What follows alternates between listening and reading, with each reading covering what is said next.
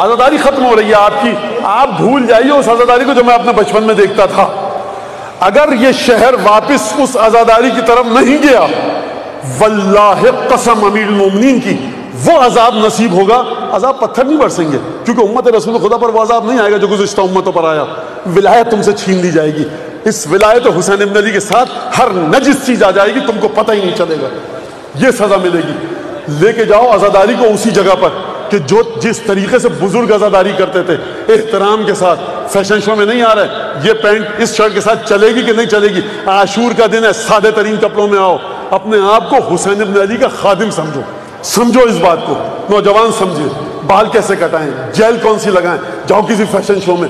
आधे का आधा बिगड़ चुका है, जहाँ तस्वीरों पे लड़ाई हो रही है मेरा नाम छोटा, उसका नाम बड़ा, कहाँ तुम ईमान? किसको, इमाम हुसैन पर ईमान है? हुसैन इब्न अली किसी देहात में जो जाकिर अगर पढ़ रहा होगा 40 वॉट का बल्ब लगाकर न जाने किस जबान में दो आदमी बैठे होंगे, हो सकता है उस जाकिर की शफात के हम सब मुहताज हों।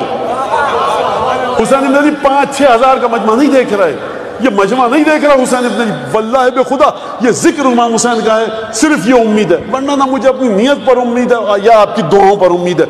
इस कजिए को बड़ी संजीदगी के साथ समझो। ये टाइम फिलर जुमला नहीं है जो मैंने कहा है। इसको अपने वजूद में उतारो। और अगर